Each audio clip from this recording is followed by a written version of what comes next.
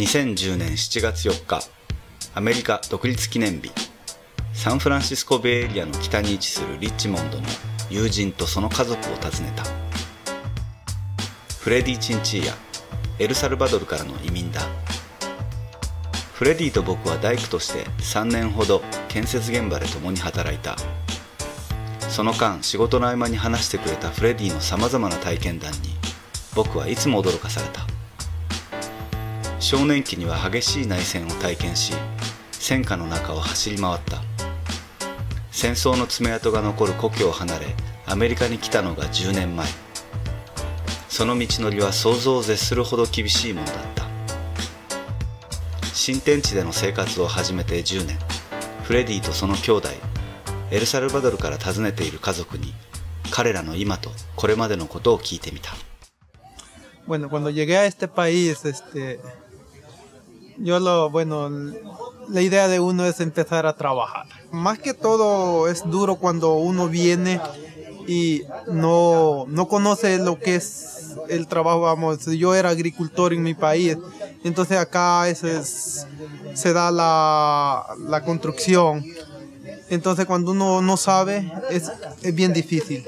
Que me sentía tan frustrado cuando no podía entender el inglés, entonces fui a la escuela de inglés, entonces este, y empecé a estudiar. Estuve cinco, cinco años tratando de, de aprender. Entonces por fin vamos, entiendo un poco, no tan perfecto. Fuimos luchando, trabajando un poco más, entonces este, fuimos tratando de ahorrar dinero. Entonces aprovechando que las casas se habían puesto un poco baratas, entonces bueno, allí haciendo colecciones, mis hermanos prestándome dinero aquí, otro allá, entonces logré obtener un poquito de dinero y poder comprar una segunda casa. Se supone que ese era mi sueño. この日近所に住む兄弟とその家族がフレディの家に集っていた 全部で7人いる兄弟姉妹のうち6人がサンフランシスコ近郊に暮らしている。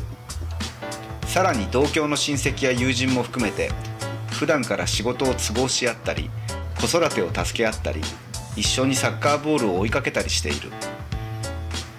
この夏はエルサルバドルから両親といとこの一人が訪ねてきている。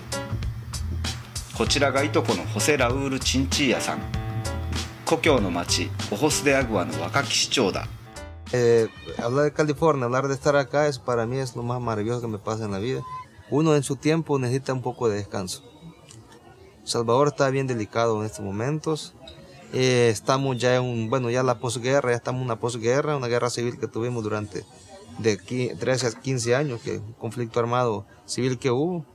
El país com- quedó completamente destruido, y ha habido que transformarlo y todo y la pobreza era enorme. Entonces, mucha gente vino ya para acá, tuvieron que emigrar para ver de qué manera podían solventar sus necesidades básicas en, en su familia.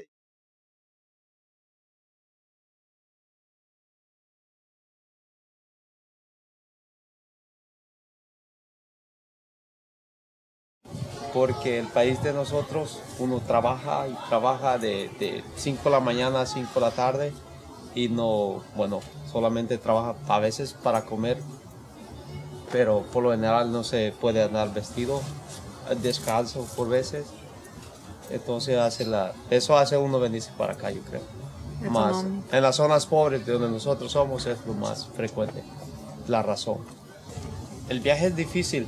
Ya cuando se viene aquí, viene cruzando fronteras, países difíciles, maltratos tal vez. Vinieron muchas mujeres y hombres. A mí las mujeres, las otras tenían más condición física como y podían correr más y caminar más. Yo no, yo no. Siempre estaba deshidratada. Se me durmieron los pies, no podía caminar. Yo les dije, váyanse, váyanse. Déjenme aquí, aquí déjenme, que no les importe. Yo pensé mejor quería morirme allí, mejor. Pero también tenía, tengo un hijo y me daba fuerza para, para seguir adelante. Bueno, yo creo que para mí ha sido lo más difícil supuestamente que ha pasado en mi vida. Porque en primer lugar fueron cuatro meses. digamos.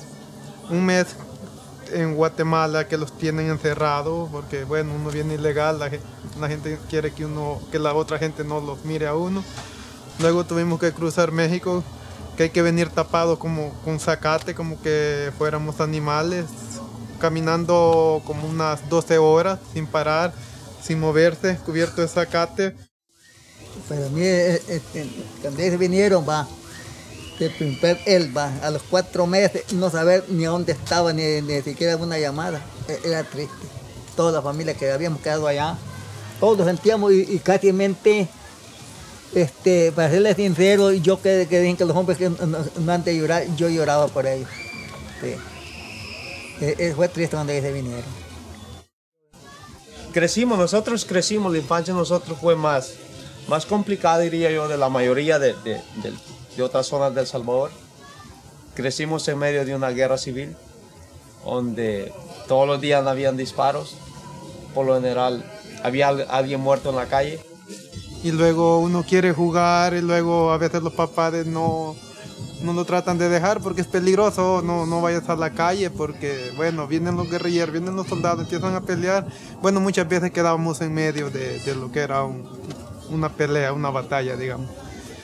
Entonces, bueno, cuando había la oportunidad, pues salíamos y jugábamos pelota y después cuando mirábamos los soldados y los guerrilleros, eh, entonces nosotros tratábamos de hacer los uniformes a cómo se vestían ellos y después nosotros salir y decir, ¡pay, pay!